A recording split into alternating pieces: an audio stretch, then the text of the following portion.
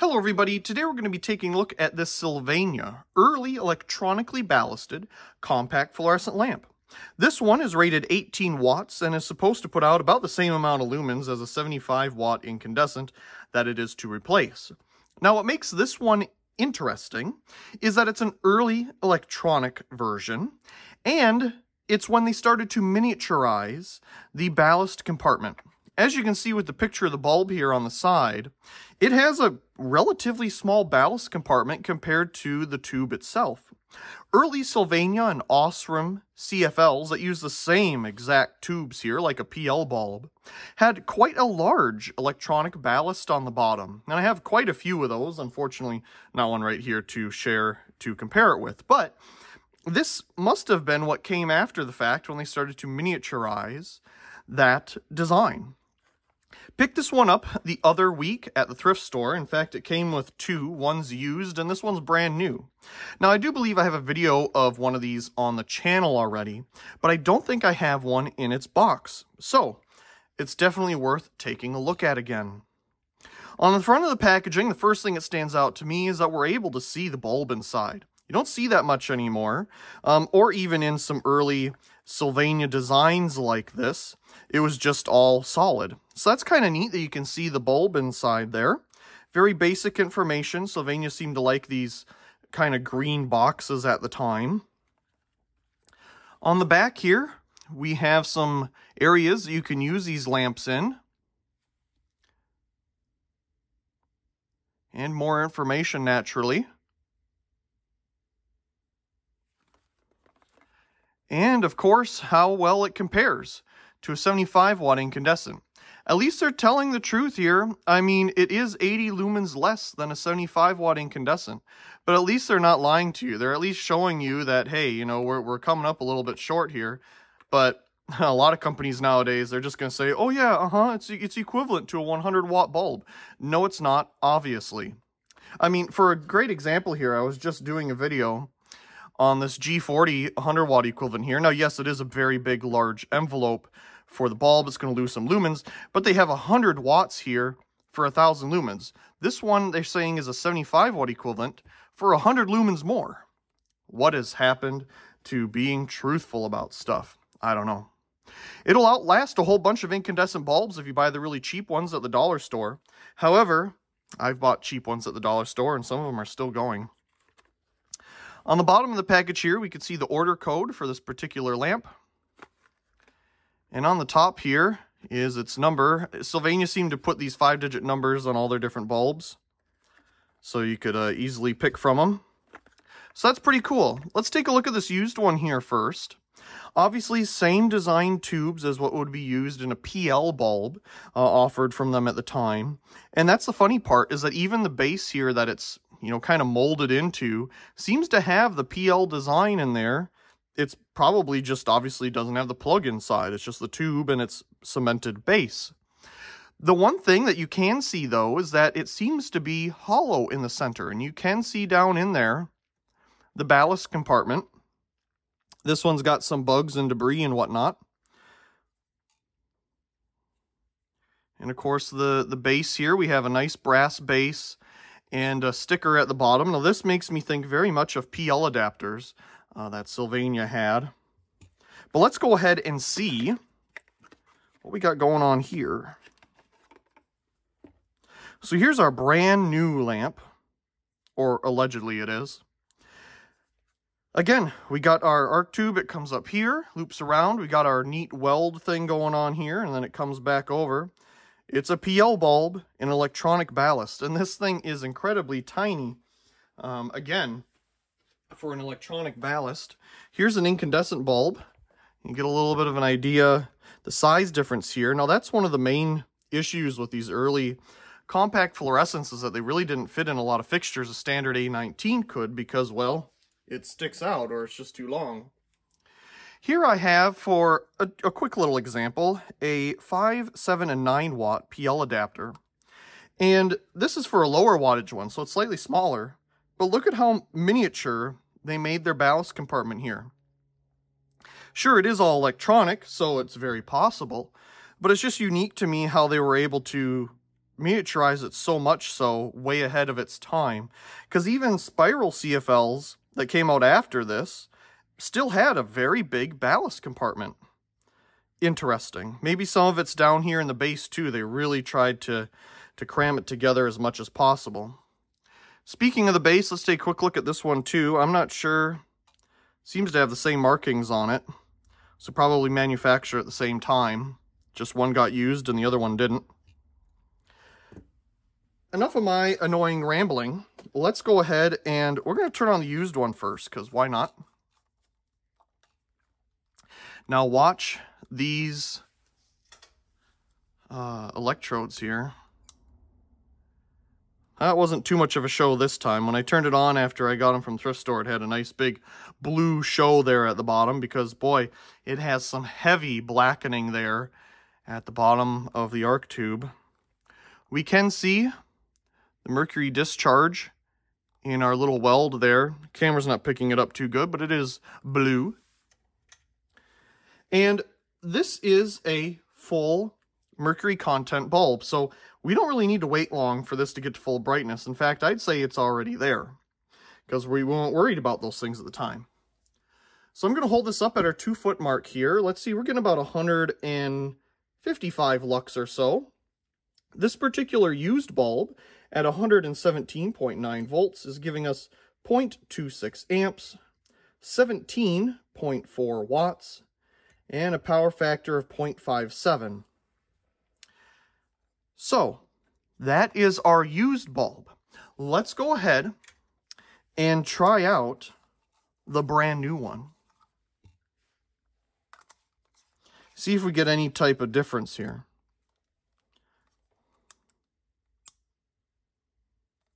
Okay, this one's definitely going to need a little bit to get warmed up. Now, I did not warm this one up previously, but I can just tell by looking at it here that this side is definitely brighter than the opposite side.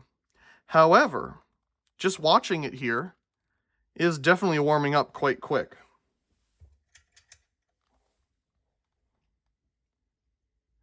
No end blackening on this one. It's brand new. We still have our little weld there between the arc tubes. Again, you can see the mercury discharge in there. Very nice. This is most certainly a very instant on bulb. No waiting around here we're at full brightness, I'd say. It's kind of hard to look at, actually. So, with our brand new bulb held at the exact same spot, let me see, there we go. Exact same spot, we're getting 235 lux, 0.26 amps, 17.8 watts, and a power factor of 0.57. So, definitely no, you know, uh, phosphor degradation on the brand new one, but there's certainly some phosphor degradation here. And I mean, you can kind of see it. You know, the tubes are a little darker in some spots than others, obviously down by the electrodes. But that's just going to happen with age. The phosphors are going to degrade, and it's just not going to put out as many lumens or lux as uh, originally when it was brand new. With all that being said, Let's go ahead and see how well it plays with our Variac here. Now, obviously, these are not dimmable, but nobody said we can't experiment. So there's our bulb. Let's start dimming it down. We're at 120 volt right now. 110, 100, 90, 80. It's holding up its lumens pretty good. 70, a little bit dimmer, but not terrible. 60, it's still holding up pretty good. I'm surprised for half the voltage. It's starting to have a very light flicker to it. 50 volts, wow. 40 volts. This is really holding up. Obviously, it is dimmer, no doubt about that, but it is holding up well. It hasn't lost its arc yet. Wow, 30 volts. It's nice and dim, though. Let's see here. I don't know if you can tell, but whenever you dim a CFL like this and it actually holds up during its dimming, the color temperature of it shifts greatly. So let's see if we can capture that. Speaking of it, since we're at such a low voltage right now, now this is 30 volts. according to our, our Variac here. So I'm going to hold up our bulb to our meter, and let's get a reading there. And then we're going to bring it, well, let's see how far down we can go. Oh, okay, we hit 20 volts and we're out. I'm to bring it back up here. Well, it finally ignited about 65, I'd say. Let's bring it back up to 120. Ooh, it's not liking that at all. We're at 120 and, oh, okay. It made a really weird noise. it kind of scared me, honestly. Um, but anyway, we're back up to full brightness now. And uh, taking into consideration what we saw here, we'll take a closer look at it uh, in, a, in a second. But let's get a, a better look. Oh, I'm I am bumping things. Unless our bulb is just done now. Oh, let's see here.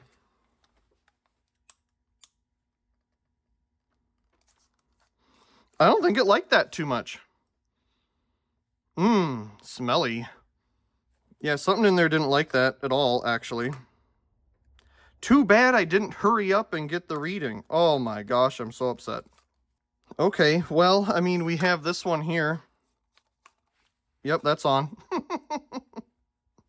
anyway, I'll have to open that up. Maybe it's a fuse or something, and I went a little above 120, and that was the end of it. Let's turn off our lights. Oh, well, anyway, we're shifting gears. And let's get a reading here with it not dimmed. Obviously, this one has the phosphor degradation, so we're not going to get the best results as if we still had our brand new one here. Anyway, uh, there's our readings. The spectrum of the new bulb dimmed.